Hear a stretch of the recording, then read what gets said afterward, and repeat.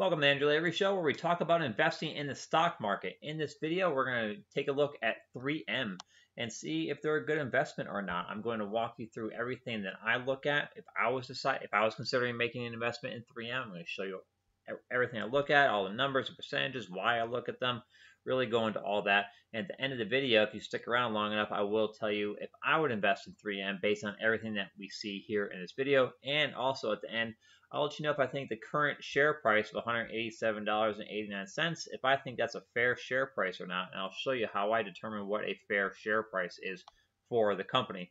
Before we move on, I want to encourage everyone to hit that like button. Don't forget the subscribe button, notification bell. I post new videos as often as I can. All right, so let's dive in now and into this actual analysis. The first thing I look at for any company, I am a dividend investor. I love getting paid those dividends from the company. So I always look to see does the company pay a dividend. And you can see right here on Yahoo Finance, we're on the summary tab and look at for dividend and yield. And you can see, yes, they do pay a dividend. Happens to be $5.92 per year per share, which comes out to almost 3.2% of the current share price. That's where that percentage comes from. So you can say, yes, 3M does pay their investors a dividend, their shareholders a dividend, but um, I like to get a little more history on that dividend. So what I do is I come to dividend.com. The first thing I look for is I want a company in my port. I want companies in my portfolio that that pay dividends, yes, but I also want companies that increase their dividends at least once a year, and I want to see a company do that. You know, increase their dividends for at least ten consecutive years before you know I really consider uh, putting them in my portfolio. I have gone against that a little bit from time to time. However, um, really, 10 years is the benchmark that I look for. And you can see here we're on dividend.com. We're already on 3M's page. Scroll down just a little bit. You can see right here consecutive years of dividend increase. And you can see, yes, 3M has been increasing dividends for 59 years. So obviously well beyond the 10 years that I like to, you know, the minimum that I like to see of 10 years. So now that we know that, I like to come down. It's great that they're increasing their dividend, but by how much. Are they increasing their dividend um, enough to keep pace, at the very least, keep pace with inflation? So you can see here we came down to the the um, payout history. This three M's right here. If you're not familiar, three M. Uh, each company that's publicly traded on the stock market has what's called a ticker symbol or a stock symbol. 3M company just happens to have three M's for their stock symbol. So uh, come down to the payout history. I don't think I told you. Um, click View All Payout History right here. And what I like to do, um, if the company has a long enough dividend history, which 3M does, I'll come down pretty far. I'll come down around the mid 90s. We'll say 1996 right here. And I'll take, I'll just note what the yearly dividend was for a single share, which happened to be 96 cents back in the year 1996. So what I'll do is I'll come over to usinflationcalculator.com I'll plug in the start year of 1996 and we got 0.96 for the dividend and uh, go ahead and hit calculate. So just to keep pace with inflation, 3M would have to be paying a dividend since keep pace with inflation since 1996. 3M would have to pay a dividend of $1.67 per year per share. But we saw on Yahoo Finance, they're paying $5.92 per year per share. So way outpacing inflation by a mile. So that's awesome. I'd definitely like to see that. I do one, I take one more sample. I'll do something a little more closer to the current year. So maybe, maybe so you can just pick a year, whatever you want. I will say 2016, 2016. So they paid $4.44 for that entire year per share. Uh, so come back up here. Oops. 2016. 4 and calculate. So since 2016, just to keep pace with inflation, they had to pay five dollars five cents per year per share. But like we said earlier, they're paying five dollars and ninety two cents. So they are outpacing inflation. The reason why this is important to me is because right now I'm a young guy. Um, coming up on 40 years old, so I still got plenty of time to go before retirement. So what I'm doing is taking all the dividends that my portfolio pays me and reinvesting that back into my portfolio to help grow it faster. I put money in every two weeks when I get paid, But then I also take the dividend money and use that to buy more shares as well, so I can grow my portfolio even faster. But when I retire, I'm going to stop using that. Di- I'm not going to reinvest that dividend income. I'm going to use that dividend income to live off of. My wife and I will go on vacations and pay our bills and go to the grocery store and go to restaurants. Everything that we do now, but we'll be using dividend income as opposed to the income from our jobs that we have. Because we'll be retired, we won't have jobs. So I want to make sure that the dividend increases keep pace with inflation at the very least. That way, my purchasing power in the future, 25, 20, 25 years or so down the road, the inflation will not eat away at my purchasing power down the road. Um, so that's why I like to make sure these companies are at the very least keeping pace with inflation with regards to their dividend increases. But as you can see here, 3M is outpacing inflation, which is obviously way, way better than just keeping pace with it. So, um, yep, that's, that's, always something that I keep track of. And, uh, you know, I'd like to make sure that they're doing. All right, so now we got some good dividend history. Yes, they pay a dividend. Yes, they've been increasing their dividends every year like clockwork for nearly 60 years, coming up on 60 years, and their dividend increases are outpacing inflation. So fantastic. That's the dividend history that I look for. Come back to Yahoo Finance. I go over to statistics, click that,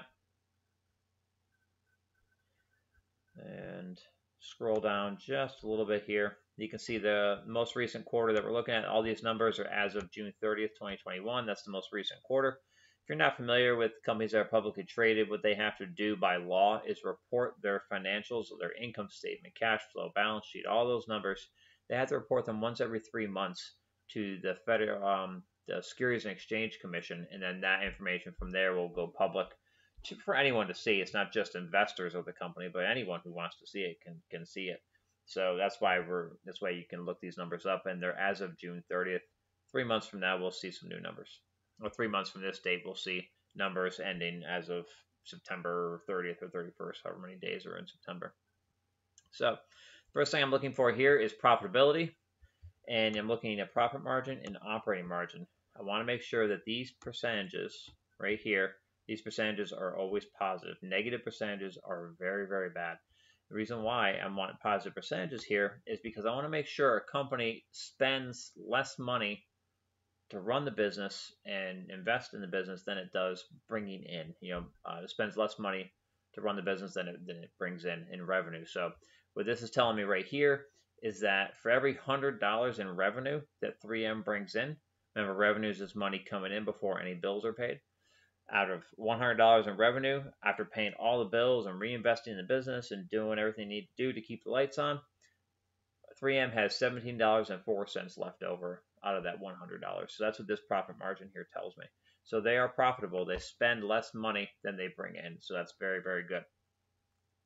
Now, keep in mind here with some profit margins, you may invest in some companies, or you may look at some companies and their profit margins are very, very low you know, maybe 1%, 2%, you think, oh, it's positive, that's a good thing. However, it's so close to being negative, I don't know. Some companies, by their very nature, just based on the industry they're in, have naturally low profit margins. Grocery stores are a perfect example of that. I say that a lot in my videos because I have a grocery store in my portfolio. I invest in Kroger.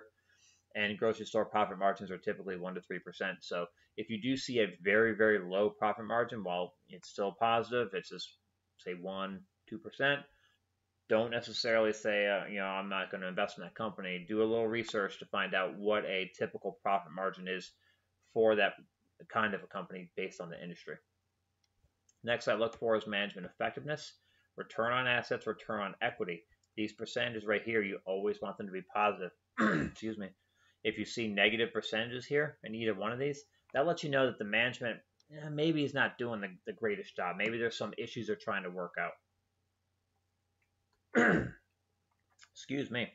Maybe there's some issues that they're trying to work out. Um, they're having some difficulties, whatever, whatever. You don't know exactly exactly what the difficulties are, but they're having some problems. So you I see negative percentages here. That's usually a done deal for me. I, I can't. I now don't think I've ever invested in a company that had negative return on assets or a negative return on equity. It's just I just don't like it at all. I want management to work out all the kinks and all the bugs before I start investing in a company. So right here is how you can tell how effective it gets, gives you an idea of how effective the management is. Because if a man, if the company is not managed well, later on down the road, maybe it's five years, maybe it's ten, maybe it's fifteen years down the road, but eventually the company is going to start having problems if it's not run well. Next thing I look at is the income statement section. And I'm looking, first thing I look at is quarterly revenue growth. Y over Y means year over year, meaning they're comparing the current quarter that these numbers are from and comparing it to the same quarter one year ago. So this is second quarter of 2021. So they're comparing second quarter 2021 to second quarter 2020. And what this is saying is that the revenue for second quarter 2021 is 24.7% higher than second quarter of 2020. So that's an excellent sign that the business is growing. The first thing that has to happen for any business to grow is that the revenue has to grow. You just have to make more money, right? So this is a good sign that the company is growing, that the company is making more money. It certainly, you know, at least it, you know, when when comparing just the two quarters, it certainly looks that way. It's a good sign that the company is growing. So this is a, a very good thing. I always like to see positive percentages here. Higher is always better, but even if it's a small percentage, say a, a 5% increase, you know, not bad. Um, you know, like I said, higher is always better, but I definitely like to see positive percentages. When I see a negative percentage here on quarterly revenue growth, it's not a done deal for me, or it's not a deal breaker for me, uh, especially with a lot of companies in 2020. They were having big problems, uh, obviously with COVID 19. The economy is being shut down, so a lot of companies were hit really, really hard with uh, with what happened in 2020. So their revenues took a big fall. So they were showing a lot of companies showed a, a negative percentage here for quarterly revenue growth because they were comparing a quarter in 2020 when the economy was shut down and they were barely making any money to the same quarter in 2019 when things were great and the economy was booming. So there was definitely a big disparity there. So that's why you, you saw a lot, of neg- a lot of negative percentages. Some companies may still be showing a negative percentage. I don't hold it against them at the moment, um, but I would expect them to turn that negative percentage around relatively quickly, maybe within a couple of, maybe within two quarters or so, about six months. Quarterly earnings growth year over year is the next thing I look at right down here. Again, to year over year, comparing Q2 2021 to Q2 2020. And it's saying that the earnings, which is another name for profit, the earnings in Q2 2021 are 16.7% higher than quarter two of 2020. Again, excellent. The earnings, the profit is growing, uh, which is a great, great sign. It's definitely a big key thing that needs to happen if the company is going to grow. So this is an excellent thing. Just as with the quarterly revenue growth, if you see a negative percentage, not the end of the world. Uh, you know, in terms of positive percentages, higher is always better. But if you do see that negative, it's not the end of the world. I try not to hold it against the company, but I would expect them to turn it around within a couple of quarters or so. Especially with what happened in 2020, a lot of businesses were showing negative quarterly earnings growth. All right, next on the balance sheet, I want to know how much debt a company has. You can see that right here. MRQ is just most recent quarter, so in this case, quarter two of 2021 and it's telling me that 3M has $19.12 billion in debt. Now, is that a lot of money? Absolutely, it's a ton of money. But 3M is a massive company. They are multi billion dollar, absolutely huge company. So they can take on a lot of debt and still be okay and have relatively low risk um, from a lot, you know, even, even if they take on a lot of debt like this is right here. So the way you can tell if this number is big for 3M you can look at the total debt to equity ratio. And 131.71 is a very good debt to equity ratio. Ideally, I like to see anything under 100, but you know, slightly over 100 like this is is not bad at all. Because this number is so low, what this is telling me is that this 19.12 billion dollars is not a lot of money for 3M to take on. There is some there's always risk in taking on debt, but this level of this amount of debt they have right here, the risk that's associated with it is relatively easily managed and shouldn't be too hard for, for 3M to take on and still maintain and run their, their business without really any problems. So now this number was higher, I've invested in companies that had debt to equity ratios in 200s and in the 300s. But once I hit the 400s, I start to shy away from the company. It's not a deal breaker for me, but yeah, 400s, it's, I, I, it raises the red flag for me a little bit. So um, I've seen companies that have several thousand as a, as their debt to equity ratio, and that is that is a definitely a deal breaker. That's that's way too high. When the company has say uh, five, six, seven, maybe a thousand or higher for debt to equity ratio, that's telling me that the amount of money that you see here, whatever happens to be, is a lot of money for that particular company to take on. Is a lot of is a lot of debt for that company to take on. So uh, but this is being a low relatively low debt to equity ratio. This $19 billion should be relatively easy to manage for 3M. Next I come up to is financials. And scrolling down here. Um, by default, Yahoo only gives you the four most recent years. If you get a paid membership, you can look at more years if there are more years available. Hopefully, the company isn't uh, so young there isn't there isn't uh, more than four years. Obviously, 3M's got decades of, of information to look at. But I don't have a paid membership. If you want to get one, by all means, I, I don't. I never felt that I needed one. But when I'm looking here, you can see by default we land on the income statement. All numbers are in thousands, meaning just take whatever number you see, add three zeros to the right, and that's the true number. And we're looking at annual numbers here. You can switch to quarterly if you want to. But I want to look here at the top line, so the total revenue. I want I want the revenue, so that's the money coming in before paying any bills. I want the revenue to grow every year, ideally. That's what I want. Occasionally, you see some hiccups where maybe it decreases from one year to the next, but overall, I want to see the, the, the revenue growing every single year. And you got third about 31.6 billion, definitely an increase into 2018. Slight decrease into 2019. Like I said, not a big deal, not a huge deal, but I do like to see the increases. And then we have um, a slight increase going into 2020. So when I see these little decreases like this from 2018, 2019, what I like to do is just take the most recent year, in this case 2020, and just compare it to the the earliest year, in this case 2017, and just see, you know, overall is the trend going up? And you can see, yes, it is. We got 31.6 billion roughly. Now we're at almost 32.2 billion. So overall, the trend is going up. So that's a good thing. Um, all right, so that's what I look at here. Uh, next, I go to cash flow. Again, all numbers are in thousands like before. And we're looking at annual numbers. Going to hit expand all. It just shows some, exposes some some rows that weren't uh, that were previously hidden. So I do a scroll all the way down to the very bottom right here, free cash flow. And again, just like with revenue, I want to see the free cash flow increasing every single year as well. Again, you might see a little hiccups or a slight decrease from one year to the next. Not a big deal, but I do like to see that free cash flow increasing. And see, we have a very minor decrease into 2018 from 2017. Very, very small, about like $5 million small, which is pennies for, uh, for 3M. Big increase in 2019, very good increase in 2020, and uh, this is this this column right here is TTM, which is trailing 12 months, so just always a rolling 12 month period, and so far it's looking pretty good but we'll see how, how they finish off 2021. But these years right here, cash flow is increasing, uh, with the exception of right here, which is very, very tiny amount of, of decrease, but overall, definitely increasing. And that's an excellent thing. What reason why is because the dividends that 3M pays comes from the free cash flow. So if this free cash flow is increasing every year, there's high likelihood, it's not a guarantee, but it's a very good chance that your dividend payouts will increase with it. So that's why I like to see this number increasing. Again, you might see some small hiccups here and there, but you know if you do, I usually don't don't sweat it too much. So long, especially if they rebound the very next year, which is um, ideally what I like to see. If they have a decrease at any point um, on this uh, that you see here. So now that we're seeing the free cash flow pretty much going up, what I like to look at next is uh, I think that's scroll just a little bit. Yep, common stock dividend paid. Uh, hold on, let me come down just a little.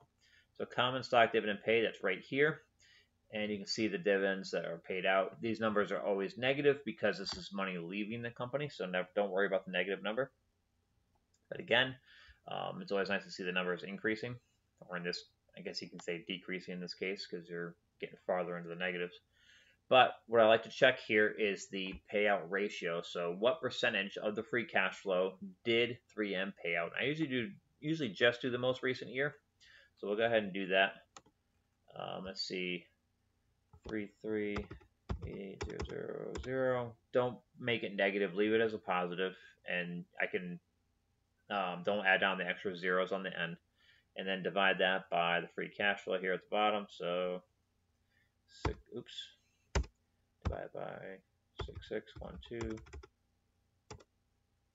So out of the money available to pay out, 3M paid out 51.2% of that in dividends. So their payout ratio is 51.2%. It's pretty good.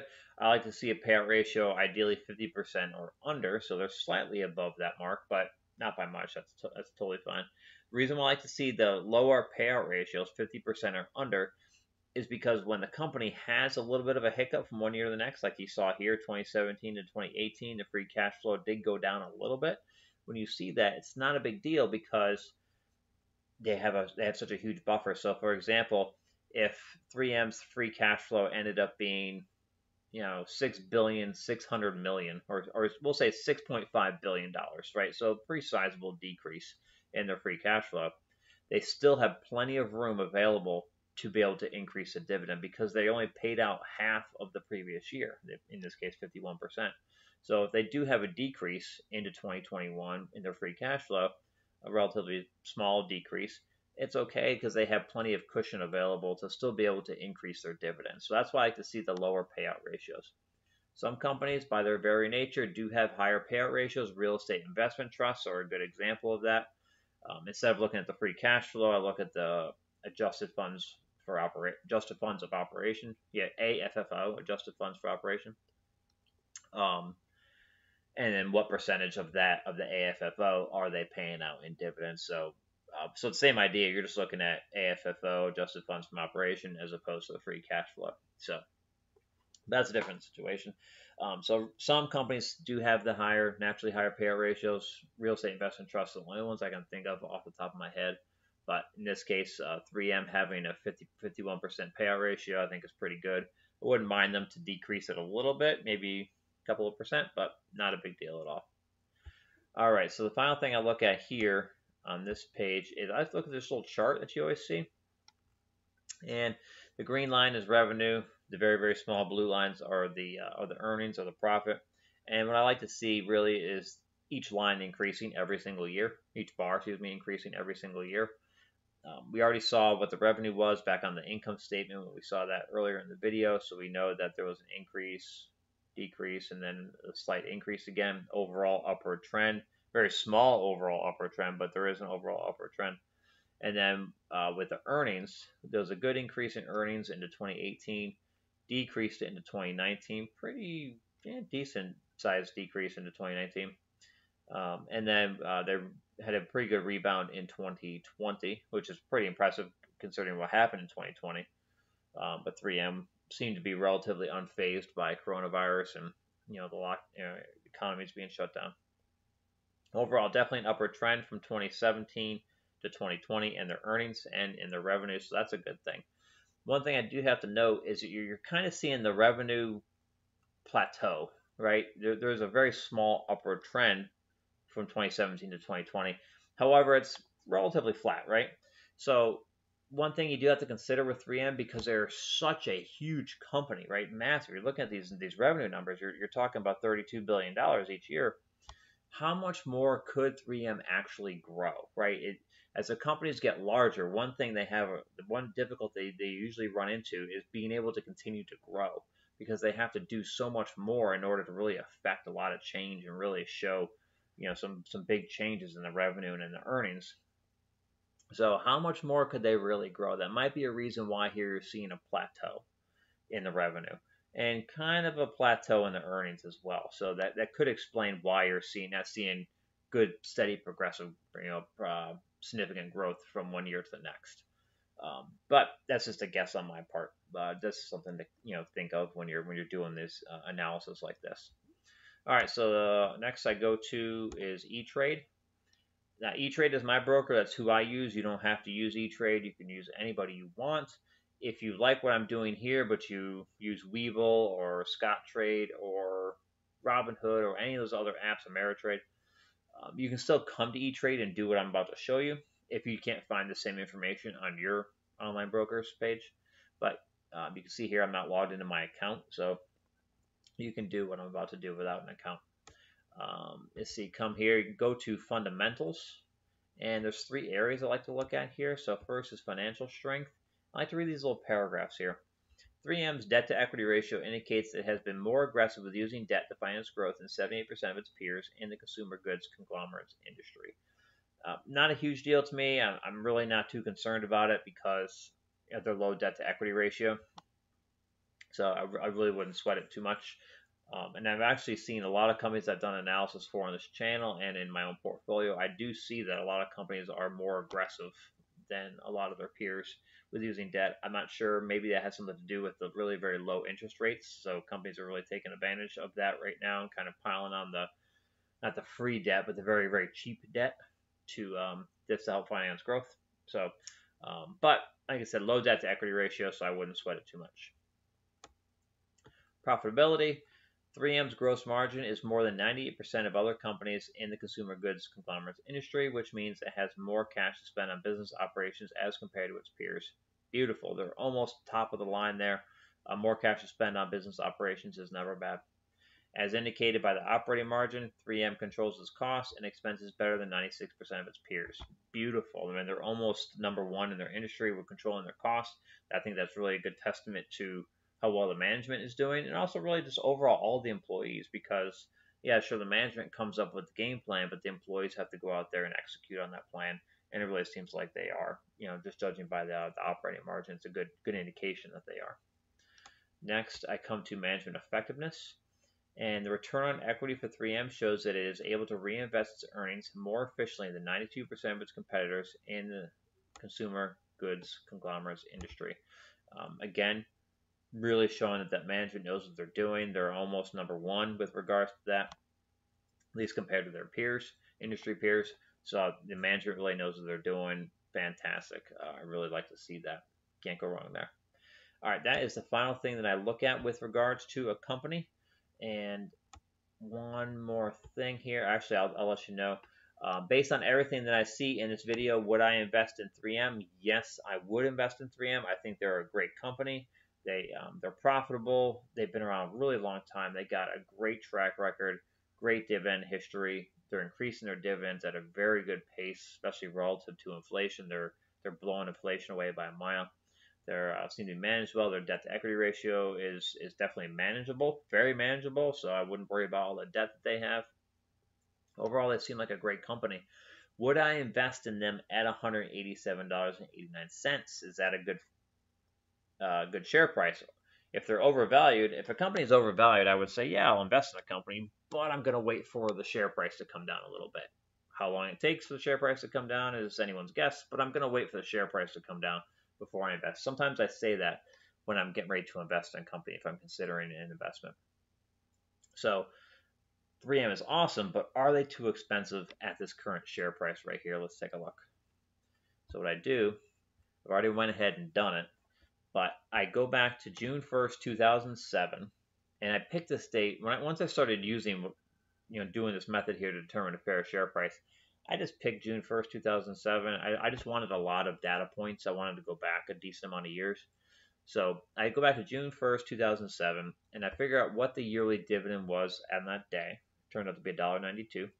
And I look at what the closing share price was for that day turned out to be $86.79, and that gave me the dividend yield of 2.21%. So you can see there how I figure out the dividend yield. And then I do that same thing for January 1st, 2008, June 1st, 2008, January 1st, 2009, all the way down June 1st, January 1st, all the way down to June 1st, 2021. Once January 1st, 2022 comes on the line, comes up, then I'll add, I'll add a row down here at the bottom. Now I have all these dividend yields, so I have all these different data points. Now I, I get an average. Originally, when I first started doing this, there was no June 1st, 2021. We hadn't gotten there yet. It was this is earlier in the year. So I actually was doing an average from June 1st, 2007 to January 1st, 2021. But now that January, um, excuse me, June 1st, 2021 is available, I do a rolling average. So I still like to know what June 1st, 2007 was, what the dividend yield was, but I don't include it in the average anymore because I'm doing a rolling average. So you can see there, I'm going all the way down to June 1st, 2021, and I'm starting at January 1st, 2008 for the average. So then that's how I get I get the average dividend yield from there. And then I, I, like to know what the high is and what the low. It makes no difference with regards to determining the fair share price, but I just like to know what it is. It's uh, good information to have. So if I get the fair share price, and then I come over here, I'll unveil this, and I'd look at, I'd say, all right, this is the current share price, $187.89. To get a fair share price, I take, you can see it right here, I take the current annual dividend, which happens to be $5.92, and then divide that by the average yield you get here in cell E2. So point in this case I have to have to divide it by 0.027 and then from there I can get a fair share price of $219.26 which comes out to be just over 14% undervalued. So I think the current share price of $187.89 is about 14% undervalued. So that's how I determine what a fair share price is. So I already said yes, I would invest in 3M. I think they're an amazing company, and not only that, I think you're getting their shares at a great price. I think you're getting it at a 14% discount relative to really what they should be trading at. So um, you're getting a great company at an amazing price. So absolutely, I would invest in 3M. So that's all I got for everyone. Thanks so much for tuning in. I really appreciate it. If you have any questions at all, comments, definitely leave all that down below in the comments section. I'd love to hear from everyone and hear what you have to say.